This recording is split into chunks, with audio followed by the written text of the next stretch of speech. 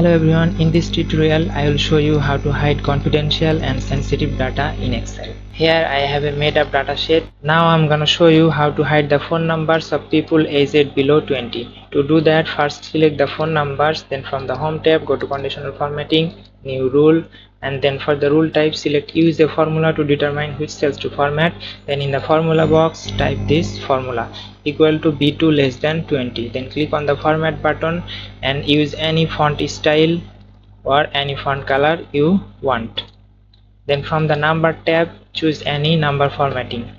You can type three semicolons to hide the numbers.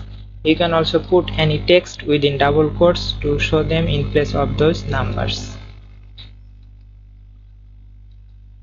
But anyone can click on those cells and see the hidden numbers in the formula bar. To avoid that, select the phone numbers, then go to format cells, and from the protection tab, make sure both the locked and hidden checkboxes are checked.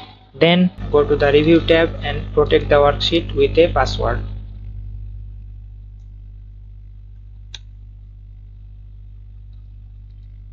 Now I'm gonna show you how to hide the last digits of credit card numbers to do that you can use this formula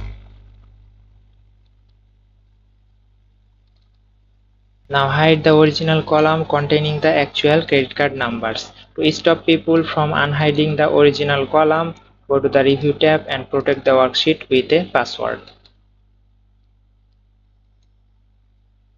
You can also hide the actual digits of salary amounts. To do that you can use this formula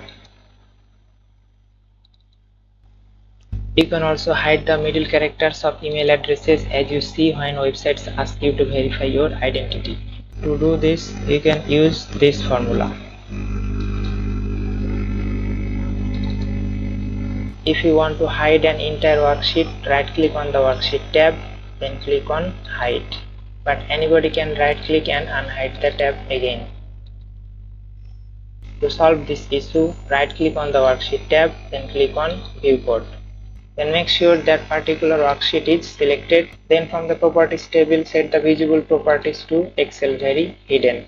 Now go to the review tab and protect your workbook with a password to stop people from changing the visible property again. So that's it for this video. Hope you liked it. Thank you for watching and i will see you on the next video